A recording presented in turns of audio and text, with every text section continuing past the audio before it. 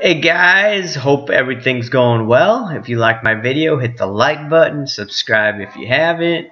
Alright, I'm gonna do a, my video today without glasses, see how this goes.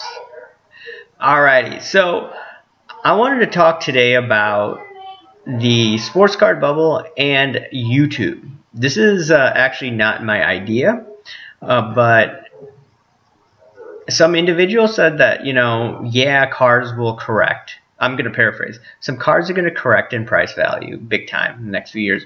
But what will also happen is the amount of YouTube channels, content creators will actually go down because a lot of people will be frustrated and they're just going to be doing less videos. Uh, and I, I want to comment on this. Okay, I do believe that the content will actually go down in the next few years because the economy should open back up, right? And when it does open back up, you know, we're not going to be doing as many videos as we were before. You know, right now I'm working from home, so it's convenient for me to do these videos. I also do these videos as an escape from the real world. There's a lot of tension going on right now in politics, and I just can't deal with political stuff. I can't read the news anymore as much as I used to. That's why I focus on these videos to keep me distracted. And I could also relate to some of you guys that are card collectors, card collectors.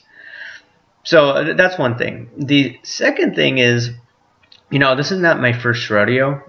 I have been involved with another silver and gold channel on YouTube, and I've noticed that when the price of silver and gold collapsed, you know, seven, eight years ago, yeah, there were videos, but uh, people started making less videos. I made less videos as, you know, I, I was actually harassed uh, by a lot of people when I used to do interviews with other people. So I stopped doing a lot of videos. That, that was one reason. And secondly, I had a full-time job. I was got married and you know it just took so much out of me. You know i was commuting downtown chicago on a daily basis. So you know that's just so much time that i didn't have. Now i'm you know sometimes working in my pjs so it's a lot different you know working from home.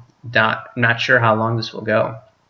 Uh, but you know i expect the same type of behavior when these card prices will go down. A lot of people will be frustrated, and the amount of content by some of these guys it'll just disappear because right now people are having a successful time flipping cards and I think it'll happen for the next two years but after then you know these arbitrage opportunities are going to go away and it's going to take two three years maybe for the market to do what it's doing right now because I do see potential conflict in this.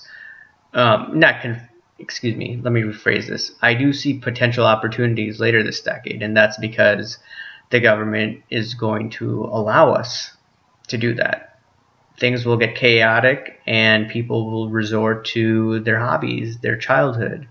It's nostalgia and it's much better than you know doing drugs as long as you're not, you know, gambling in this market, it's all fine and well. You know, small bets here and there calculated where you know you're not going to lose your shirt. I think that's fine. That should be actually encouraged. If you're, you know, going into massive amount of debt, you know, where you could lose your home investing in these cars, I think that's a huge problem, which some people are doing.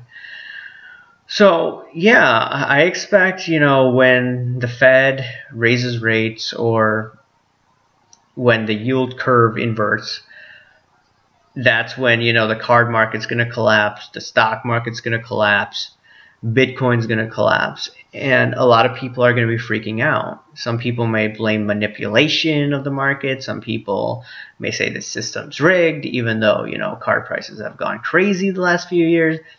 There's probably going to be newbies that will be shutting down the channels or they're going to do less content or they're going to be turning on um, or they're going to you know say collecting stupid you know it's a waste of time and whatnot and you know when i see people like that when i see that type of emotion I probably would want to buy. I probably want to buy like some vintage Jordans, you know, that no one's looking at. I'm probably going to look at some 84 Jordans you know, the star cards. You know, I'm starting to do some research on that. Low population count. I may look at some Brady's, uh, some low population rookie cards. That's going to be a good opportunity. So the, the way that I look at it is, you know, you type in sports cards, you see so many YouTube channels. I've been listening to some other guys that have had YouTube channels for a few years, and he said it back then, not many people were doing YouTube videos, and now a lot of people are doing YouTube videos. Granted, I'm doing YouTube videos, that's because I use it as an escape from the real world. I don't need to stress out about uh, politics anymore or the real world in general and I just see that okay, so much enthusiasm, very aggressive behavior. I don't want to aggressively be buying. I am buying here and there. It's a little more selective. I'm very picky now. You know, I got my stimulus money the other day, and you know, I bought some more Ledeckys. You know, Katie Ledecky. I bought, you know, a Jordan Love uh, National Treasures card, auto, RPA you know, hundred dollars. I don't mind using, you know, some of this funny money they're giving me, which I technically don't need. I don't need that to pay my bills, or I don't need that to pay my mortgage. I'm just using it, you know, just, just to speculate. You, some people may say gambling, but it's a few hundred bucks. It's nothing in terms of cards. Uh, but yeah like I said, I probably would look at the emotion and the sentiment of the YouTube community. And from there, I probably would see, okay, a lot of negativity in the card space. I'm going to be buying.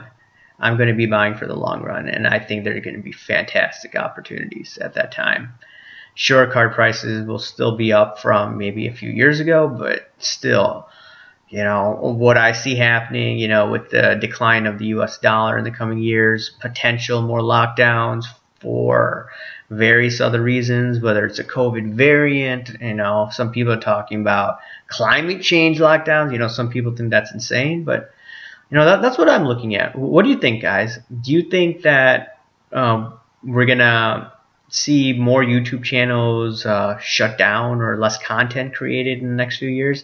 I think at that time, if I'm, you know, working from home, I probably, you know, still do as many videos as possible. But we, we shall see.